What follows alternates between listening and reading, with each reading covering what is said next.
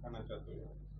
अभी जो साइक्लोन विपर्जय, अभी जो सुबह था वेरी सीवियर साइक्लोनिक स्टर्म अभी साइक्लोनिक स्टर्म में परिवर्तन हुआ है, उसका इंटेंसिटी कम हुआ है, और शाम तक डीप डिप्रेशन होने का संभावना है। शाम तक फर्दर इंटेंसिटी उसका घटने का संभावना है। लेकिन वो उसका जो पाथ है नॉर्थ ईस्टवर्ड मूवमेंट है, अभी भी कच्छ का ऊपर है और आगे जाके डिप्रेशन होते होते Kutch adjoining north Gujarat region लगभग होने का संभावना है। उसके कारण से बारिश रहेगा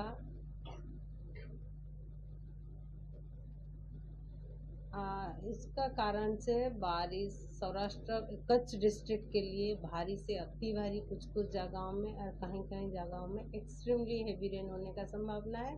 उसका साथ साथ बानसकंडा पाटन में भी एक्सट्रीमली हेवी रेन होने का संभावना है।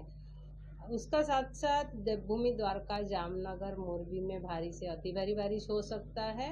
एंड उसका नेबरिंग डिस्ट्रिक्ट जैसे पोरबंदर, राजकोट सुरेंद्र नगर इविन अहमदाबाद, गांधीनगर महसाना साबरकांठा में भी आइसोलेटेड प्लेसेस में भारी बारिश होने का संभावना है। कुल मिला के एंटायर गुजरात स्टेट में बारिश मिलने का संभावना है आज।